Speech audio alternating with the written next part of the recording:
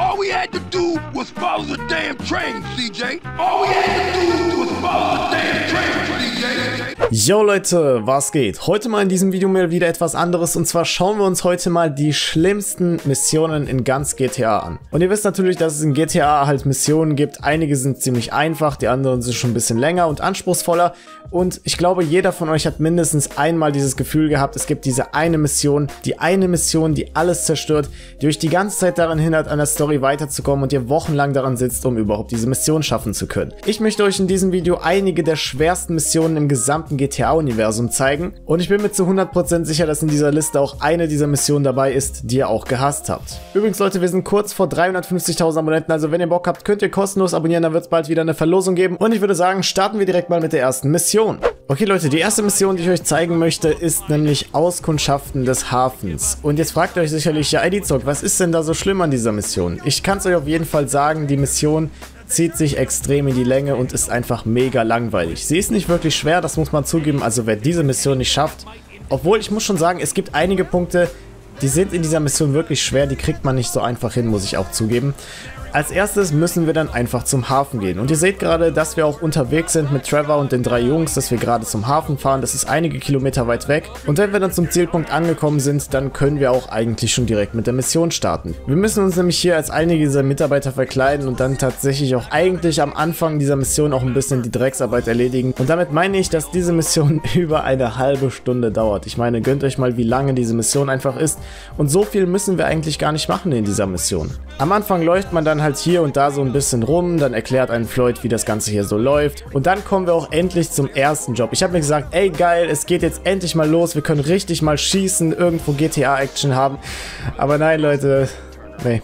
Das ist halt leider überhaupt nicht der Fall gewesen. Wir steigen nämlich in ein Fahrzeug ein, müssen dann übertrieben langsam mit diesem Fahrzeug fahren und dann einige dieser Container aufsammeln. Und wenn wir einen dieser Container aufgesammelt haben, müssen wir erstmal hochziehen, dann müssen wir ihn irgendwo an eine Stelle platzieren. Dann müssen wir das Ganze halt zweimal machen. Also ihr merkt schon, Leute, es geht schon ein bisschen lang zu. Und nachdem wir das gemacht haben, können wir auch endlich starten, mit dem Kran zu arbeiten. Übrigens, vielleicht ist euch ja aufgefallen, dass die Facecam-Qualität ein bisschen besser geworden ist. Und da muss ich ganz kurz einfach mal Danke an Logitech sagen, denn die haben mir nämlich eine neue Facecam zugeschickt. Und zwar ist es nämlich die Logitech Brio 4K Webcam und dabei handelt es sich nämlich um eine 4K Kamera, also übertrieben heftig die Auflösung muss man sagen. Und ich denke, ihr werdet dann auch erkennen, dass die Qualität im Vergleich zu der alten Webcam dann echt deutlich besser geworden ist. Also ich war echt geflasht, als ich das gesehen habe. Also danke deshalb, wie gesagt, nochmal an Logitech für die Webcam. So, nachdem wir das alles geschafft haben, können wir dann endlich mal zum Kran gehen. Und ich habe mich eigentlich gefreut. Ich habe mich wirklich, Leute, gefreut. Ungelogen, ich habe halt gedacht, das ist echt echt eine geile Sache. Wir können jetzt endlich einen Kran steuern. Nix da, Leute. Wir können zwar den Kran steuern, aber es ist deutlich anstrengender, als ich mir gedacht habe. Ich meine, Rockstar Games zwingt uns dazu, in GTA 5 zu arbeiten, Leute. Und nicht mal irgendwie Geld bekommen wir dafür, was schon mega frech ist, muss ich sagen. Aber dann kommt eigentlich das Schlimmste. Der Kran, der steuert sich wirklich extrem schwierig. Ich habe da locker 5 Minuten gebraucht, um das Ganze zu schaffen. Und nachdem wir das endlich geschafft haben, können wir eigentlich das bekommen, was wir eigentlich haben wollten. Und zwar Fotos, die wir für Ron schicken. Ja, das hat sich auf jeden Fall gelohnt. Dankeschön, Ron. Vielen Dank. Zum Schluss liefern wir dann Floyd auch irgendwelchen Leuten aus, die ihn dann zurecht verprügeln. Also ich meine, dass er uns so einen Job gegeben hat. Also das ist das erste Mal, dass ich in GTA wirklich gearbeitet habe. Und ich muss sagen, zu den guten Missionen, die Rockstar Games in GTA 5 hatte, ist das eine dieser Missionen, die echt ein bisschen sich gezogen haben und eigentlich völlig unnötig waren. Okay Leute, wir sind zurück in GTA San Andreas, einem echten Klassiker der GTA-Reihe und ich glaube, diese Mission, die solltet ihr wahrscheinlich kennen. Und zwar ist es nämlich die bekannte Mission Wrong Side of the Tracks. Und an sich hört sich die Mission doch eigentlich ziemlich einfach an, da gibt es doch eigentlich gar nichts, was so schwer sein muss. Ihr seht nämlich, dass jetzt vier Vagos auf einen Zug steigen, wir müssen diesen Zug verfolgen und darauf steigen wir einfach auf eine Sanchez drauf, müssen dann mit Big Smoke einen Drive-By machen, also Big Smoke schießt für uns und ich habe halt gedacht, ja Big Smoke, du bist doch eigentlich ein echt gutes Mitglied in der Growth Street Families. Aber anstatt, dass er wirklich eine richtig reinhaut, Leute, er trifft einfach nicht. Ich schieße doch. Ich meine, Leute, er steht doch Meter daneben. Erstens, die müssen ihn ja treffen, weil das ist eigentlich extrem einfach, dass er getroffen wird.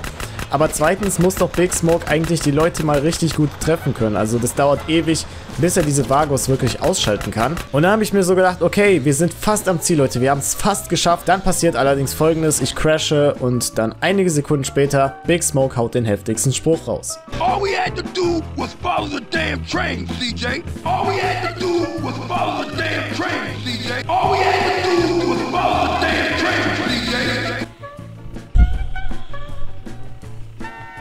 Ich muss dazu eine kleine Story erzählen, Leute. Ich habe diese Mission schon früher damals ziemlich oft gespielt als Kind. Als ich damals GTA San Andreas bekommen habe, ich war richtig gehypt auf dieses Spiel. Und diese Mission, die hat mich daran gehindert, dass ich weiterspielen konnte, weil sie war einfach so schwer. Es klingt am Anfang wirklich gar nicht so schwer, das muss man sagen. Aber damals als Kind ist halt das, was jetzt einem einfach fällt, das war früher halt echt eine Meisterleistung, dass man das schaffen konnte. Also es ist eine der bekanntesten Missionen, eine der bekanntesten Memes ist dadurch entstanden, aber die Mission an sich ist, äh, ja, nicht geil. Okay, Leute, zu meiner Verteidigung. Ich hätte nie gedacht, dass ich die Mission noch einmal in meinem Leben spielen muss. Jeder kennt die Mission, jeder hasst sie und ich denke, sie ist auch zu Recht in dieser Liste der meistgehassten Missionen in ganz GTA. Yoga beruhigt Leute in GTA 5. Und ich muss dazugeben, Leute, am meisten an dieser Mission stört mich dieser Fabian. Also ich hätte nicht gedacht, dass Fabian mich einmal richtig zum Ausbrasten bringt in dieser Mission. Aber damals, als ich das wirklich die erste Mal gespielt habe, ich bin ausgerastet, als ich das nicht geschafft habe. Folgendes ist passiert, Leute. Wir müssen am Anfang der Mission nämlich Yoga machen. Und dazu müssen wir drei Figuren schaffen. Und diese sind am Anfang eigentlich ziemlich einfach. Man muss die Position natürlich immer konstant halten. Und das Nervigste ist einfach, wenn wir es nicht schaffen, müssen wir alles komplett von neu machen. Und mit komplett meine ich einfach, die gesamte Figur muss einfach normal von vorne gemacht werden. Und ich meine, Fabian sagt einem immer, okay, vergiss nicht zu atmen, hier und da, jetzt drückt die Knöpfe, jetzt drückt die Knöpfe da. Now, you breathe. Doch spätestens ab der zweiten Figur. You can breathe, can't you? Silly man forgets to breathe.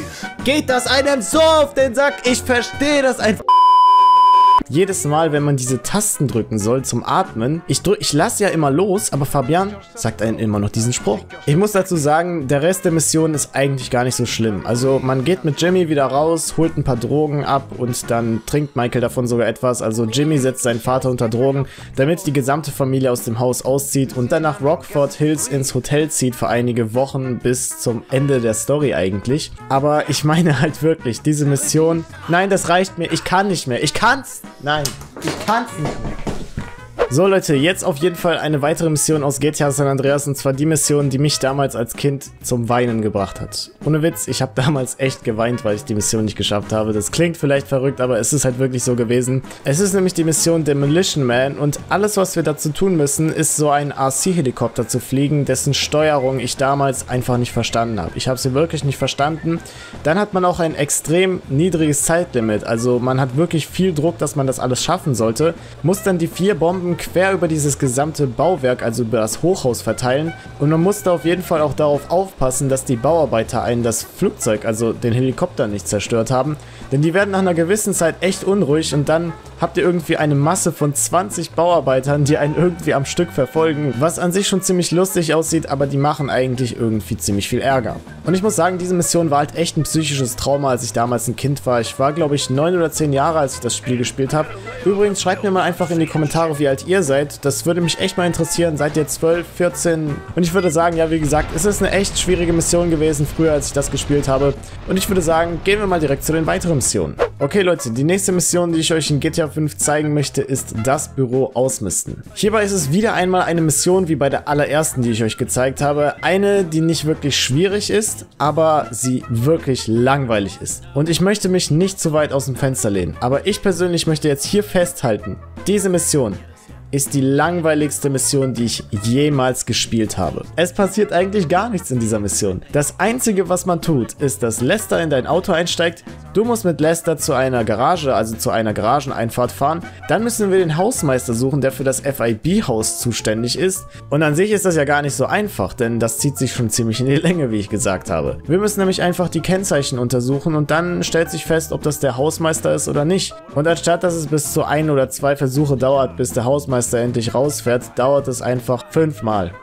Fünfmal müssen wir warten, hier sitzen und dann warten und... Und jetzt dachte ich mir so, ey, das ist echt krass. Jetzt kassiert der wirklich von uns, also jetzt kassiert er mit Michael und Lester, da ist, da ist vorbei, Leute, da ist vorbei. Wir müssen ihn verfolgen, bis er zu Hause ankommt. Und ich hätte niemals gedacht, dass ich das mal sage.